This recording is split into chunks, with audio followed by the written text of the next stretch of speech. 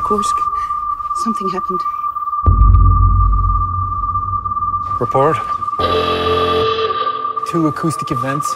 Mother of God. Survivors? Captain! We heard something happened to the Kursk.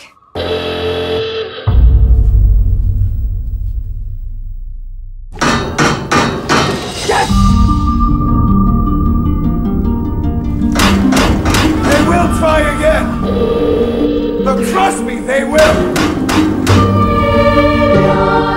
We have the divers and the equipment. I implore you to accept our help. If your help is needed, we will let you know. Do you know how much air they have? Their condition? You want our men to die for nothing! No one has forever.